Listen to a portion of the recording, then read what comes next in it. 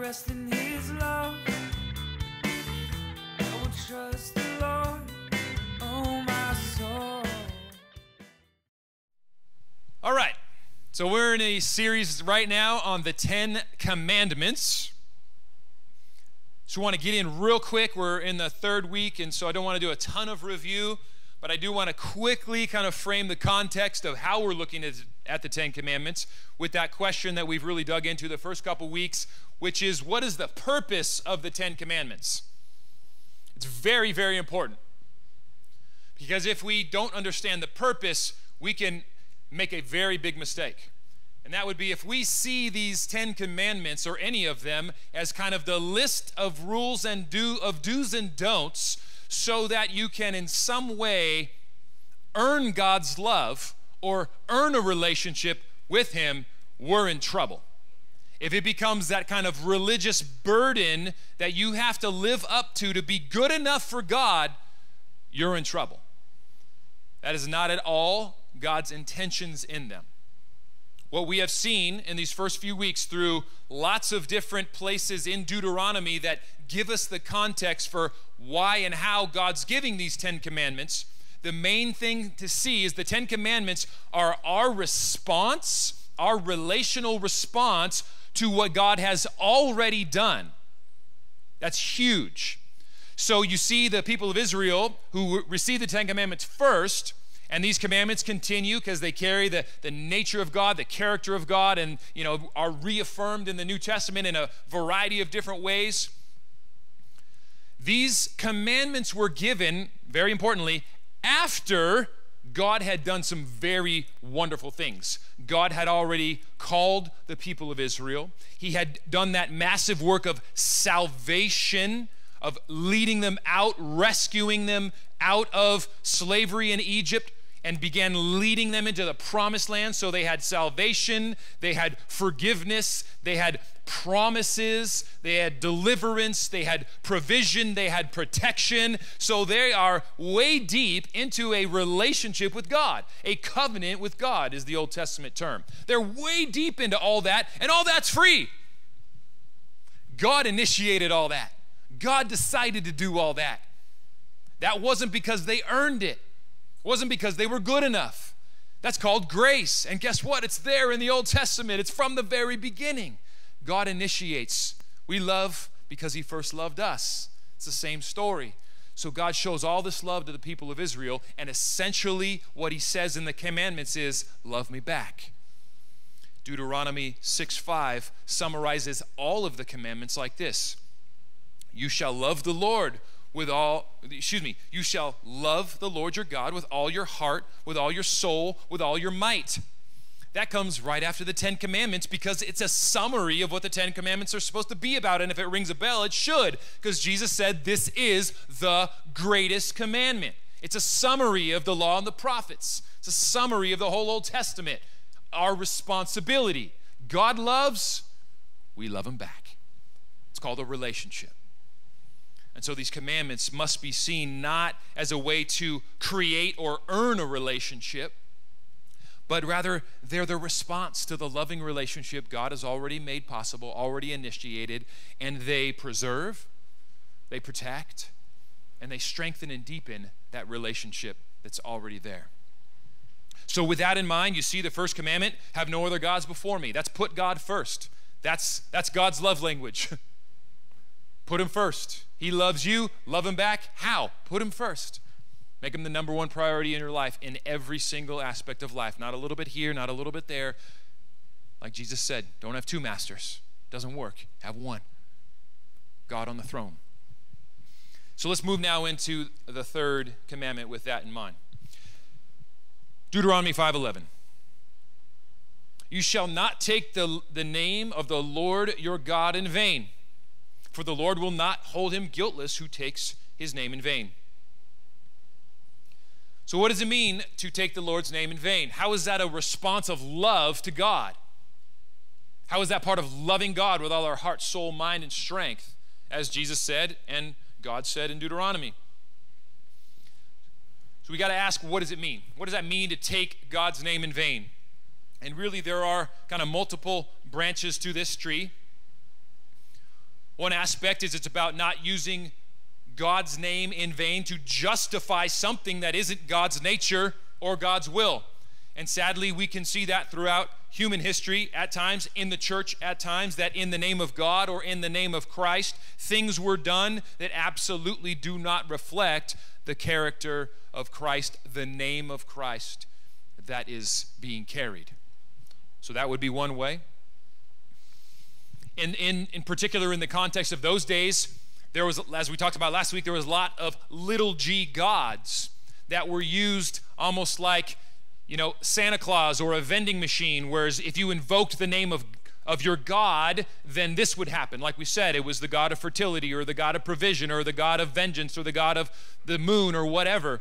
And so gods were often just a means, a selfish means to an end. And if you knew the name of a god, then you got kind of had power to like almost like a magic spell, a magic declaration. And that's where God comes along and says, first of all, no, I'm the God of it all, but I'm not to be, my name, my name Yahweh that I've given you in covenant relationship is not to be used in vain. It's not to be used like every, like many of those other people are using their God's names as these little kind of magic incantations just to get something. So that was another piece of it.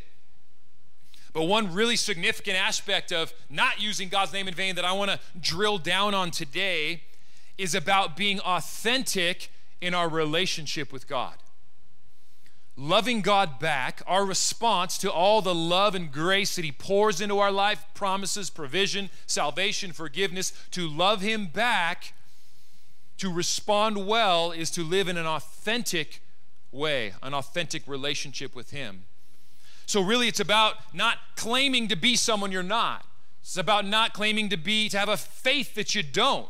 You know, it's really easy to do. And, and let's, let's be honest, this is a regular temptation. Absolutely, it is in life, to even in the church, to put on a facade, to act like you got it all going on, to slap on a Sunday smile, even if life's falling apart, to pretend everything's okay. At time to, you know, you could sing worship songs you don't even really believe. Now we have a, we have a solution for that. What we like to say is if, if you are identifying with these lyrics and you're able to bring authentic thanks and praise for what God has done, then do it. That's awesome. And God says, do it with all your might.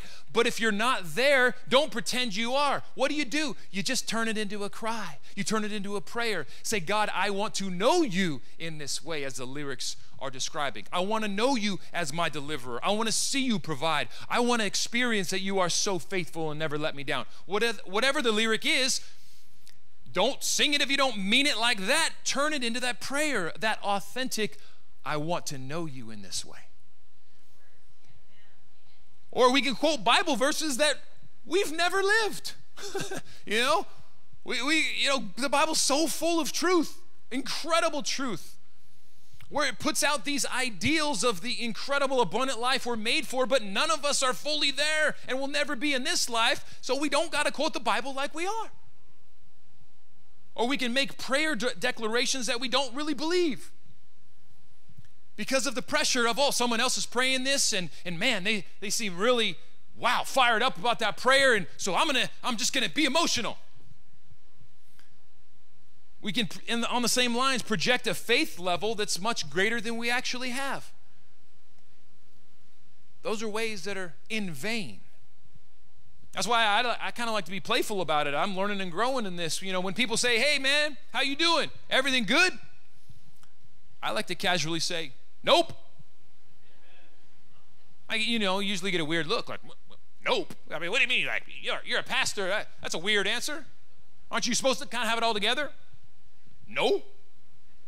And first of all, pastor is way down the list on my identity, by the way. I'm just a child of God, just a person, saved by grace, a follower of Jesus, learning to love him, know him, be transformed by him, husband, father, basketball player, pastor. Oh, it's somewhere down there. I was playing. But seriously, I love living in the freedom under His grace that no, I don't have to be perfect. So when I hear everything good, I just kind of like to be playful a little bit. Like, nope, everything's not good. Life has challenges all the time, always will, this side of heaven. But God is good. So is everything good? No. but God is good. And I kind of feel like the point of my life as a follower of Jesus is I'm hoping those things collide. Everything is not good, God is good. And I'm learning and hoping and praying that those there's mighty collisions there so that more and more is good, is transformed. But that kind of mindset, you know, is just one way it keeps me from being a pretender. Or worse, taking the Lord's name in vain by using religious language to cover up where I'm really at. At the end of the day, I think this command is really good. It's, it's, it's freedom. At first, it kind of, oh, don't take the Lord's name in vain, but the reality that God wants to have an authentic relationship with you and His grace covers where you're at, that's freedom. That's good news. We don't have to pretend. Jesus said something along these lines that is one of the most stunning words that I've ever I, that I know that he says. Listen to this about taking the Lord's name in vain. Think about it. Jesus said in Matthew 7, "Not everyone who says to me, Lord, Lord, that's calling him by name, by the way, will enter or using his name, enter the kingdom of heaven, but the one who does the will of my Father who is in heaven. On that day, many will say to me, Lord, Lord, did we not prophesy in your name and cast out demons in your name and do many mighty works in your name? And I will declare to them, I never knew you. Depart from me, you workers of lawlessness. That is probably the most startling example of the Lord's name in vain that, that I can find in the scripture. I mean, wow, people come to Jesus. That's good, that's a good start. Call Jesus Lord. That's, that's good too. We're, we're going to all affirm all these great things, right? Call him Lord, Lord, double Lord. Awesome. Cast out a demon in the name of Jesus. How many y'all done that? that, that you know, if I'm doing that, I am think I'm having a pretty good day prophesy in the name of Jesus, miracles in the name of Jesus, and Jesus says, Watch out. You might hear this. Depart from me, you workers of lawlessness. I mean, those things we just mentioned that's like that's like the christian cool kids club. Like you do those things nobody's questioning your relationship with god.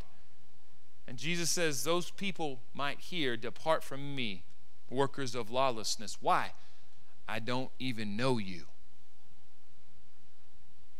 Man, I don't even know what to do with that verse other than hear the bottom line that Jesus is saying is when it's all said and done, what, what it's got to be all about for you is knowing God. That's, that's what it's got to be all about. From the beginning to the middle to the end, it's just all about knowing Jesus. In fact, Jesus said it in John 17, 3. Eternal life is knowing God and the one whom God has sent, Jesus Christ. So eternal life, that's what that's what all of heaven's about. It starts now is eternal life, getting to know God. It's all about knowing God. And Jesus says, if you miss that, you are taking my name in vain, you are living in vain. So the foundation is simply about knowing Him. And God is obviously, as Jesus is expressing, very serious about an authentic relationship with Him. I want to take us to the Psalms for a moment where the idea of that authentic relationship is affirmed all over the Psalms. Psalm 13, 1 and 2. The psalmist prayed like this. Let's just check this. Can we pray this in church? Are we comfortable with this level of authenticity? How long, O Lord, will you forget me forever? How long will you hide your face from me? How long must I wrestle with my thoughts day after day and have sorrow in my heart? How long will my enemy triumph over me? That is some authentic prayer. That this dude's not pretending, right? He is not putting on any facades, not pretending to be somewhere where he's not he, he's hurting. I mean, that how long phrase, that does not just happen in that psalm. That happens like 25 times in the Psalms. And this is a cry, a deep soul cry of, of hurt. Of God, where are you? God, I need you. God, I'm suffering over here. Psalm 77 has some similar language. Verses 4 to 9. He says, I'm so troubled that I cannot speak. And then he goes on to speak. Will the Lord spurn forever and never again be favorable? Has his steadfast love ceased? Are his promises at an end for all time? Has God forgotten to be gracious? So he's writing a psalm, a prayer to God. God, have you forgotten your grace? I mean, that's, especially New Covenant here, that's kind of an offensive question. like, right? This, this person is got the gloves off with God, if you will. They're going through a hard time. They're going through a pit. They're going through a valley. That happens in life. Let's not pretend it doesn't. And, and they, they are incredibly authentic in their prayers. Saying things like, God, will you forget me forever? Are you hiding from me? Is your, has your steadfast love stopped? You see the picture? Steadfast love that keeps going on and on, has it stopped? Has your promises that you made, have you forgot them? Did you forget that you were a gracious God? Whew, I mean, this, this is as about the, of raw human emotion, frustration, despair, anger, and they're bringing it to God.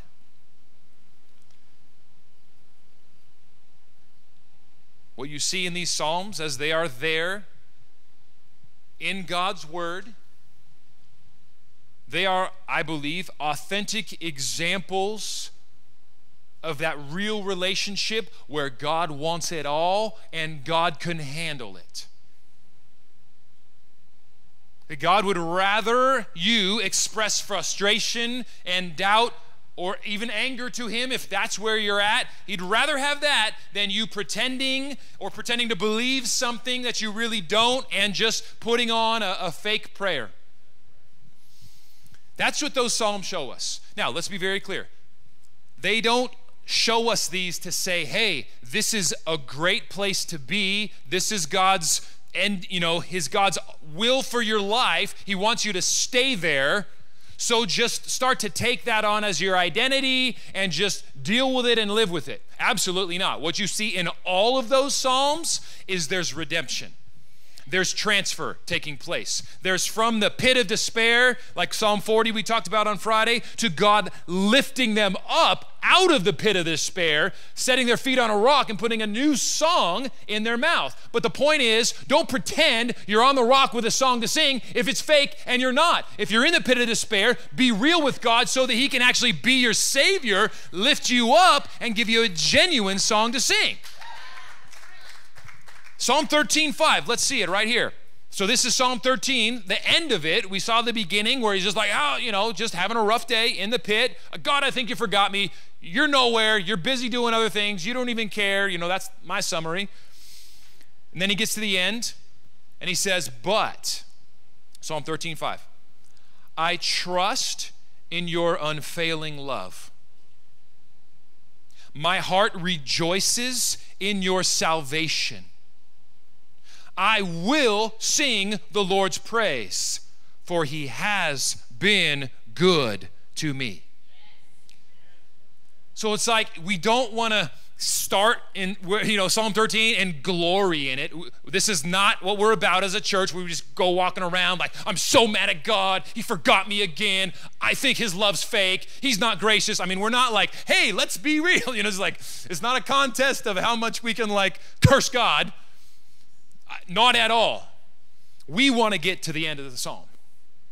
But we need to know that God can handle when you're genuinely not there. And He does not want you to fake your way there. So you, you got to be, you know, keep that honoring of God on your lips, but be real. And then you get to the end and you say, but. I know God's love. I know what He's done. I will sing. I will sing again. And that is right there. That's authentic relationship so that we're not taking his name in vain. This is this is so beautiful.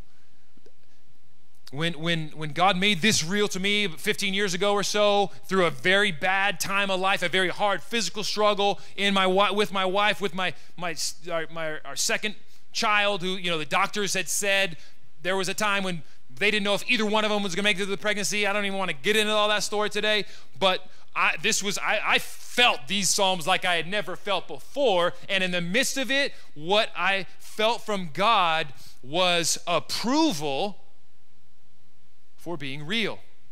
And out of it, I will, I, my whole relationship with God has changed because I was in seminary at the time. I felt that pressure of, you know, you got to be, you know, you're you're training for the ministry. It's kind of like you have it. You got you got a lot going on. You got you kind of got it all together. You got to be the example. And and it, you know, when you hit that certain pit, you, it comes a time where it's like, well, you're either gonna be real or you're gonna lose it, right?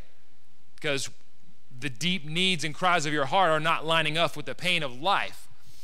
And so, as I, for the first time, without even kind of examples of how to do it, found the Psalms and whoa, these guys are honest, frustrated, doubting, and God can handle it. Again, you don't glory in the pit, you don't want to stay there, but you you can be real. God can handle it. And it just I felt God's approval in it. It was weird. It was very foreign to me. Again, not to glory in it, and you don't want to stay there, but when you're there, be real. God can handle it. And what it did for me was unlock and I would say take down a stronghold of having to perform, of a little facade, having it all together. Everything good? Oh, yeah, yeah, everything good. Everything good right now. No. God wants you authentic. We even see that in the Apostle Paul. 2 Corinthians 1, and we'll close with this verse. Verse 8 Paul says, We do not want you all to be unaware, brothers and sisters, of the affliction that we experienced in Asia.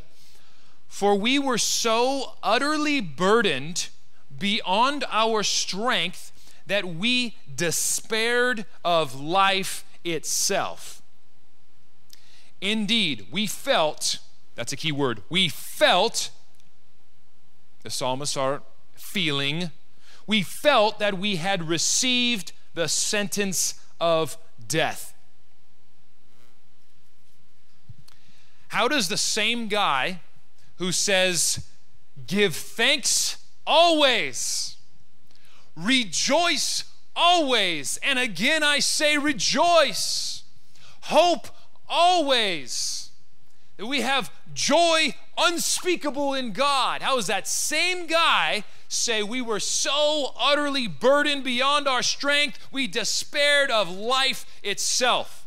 Translation, we were ready to die.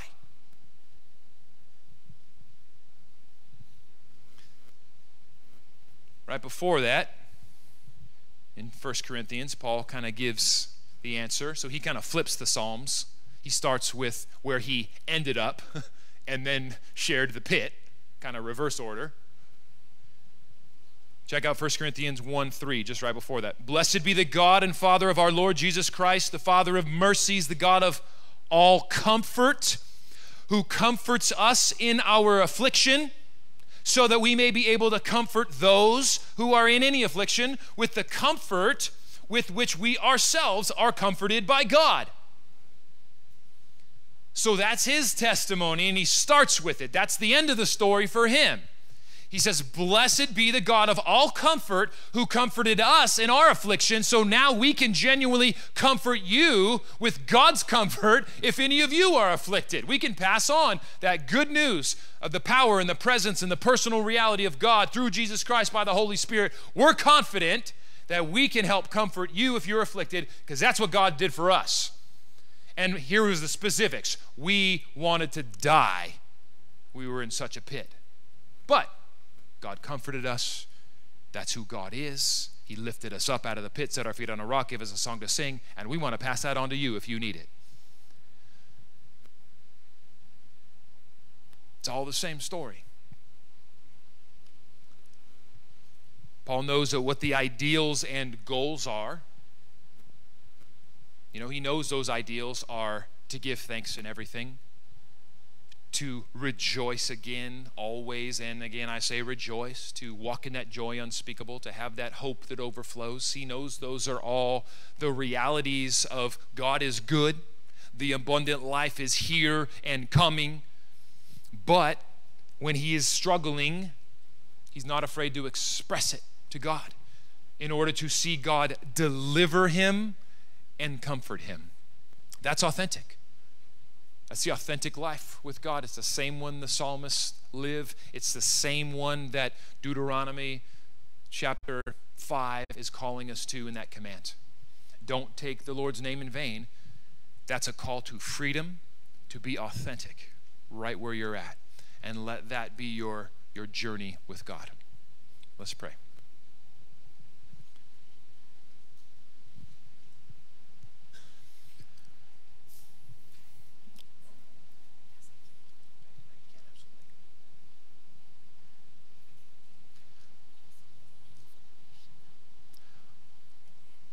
Let's take a quiet moment. If you're new with us, we do this somewhat often just because it's so hard to get quiet in our world. And just wonderfully beautiful things happen in, in those quiet moments where we make ourselves available to God and ask the Holy Spirit to speak and seal things in our hearts.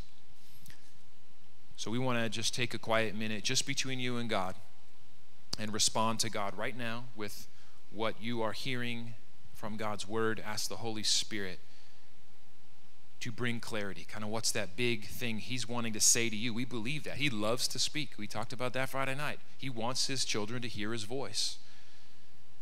So He wants, we are confident His Holy Spirit desires to make clear to you something this morning. Good news, an invitation, a challenge, anything God reveals, it's because He wants to heal, it's never to condemn. He wants to draw you closer to Him in that authentic relationship. So let's just sit and listen. What is it that He's wanting to say to you today? Is there an area of life where He wants you to get real with God? Is there potentially a facade? He's just giving you the freedom to say, let down, let it down. Take that wall down. Let others see your authentic self. Let God see it. Holy Spirit, we ask that you would do what you love to do. Speak to your children draw us into greater level of that authentic relationship with you.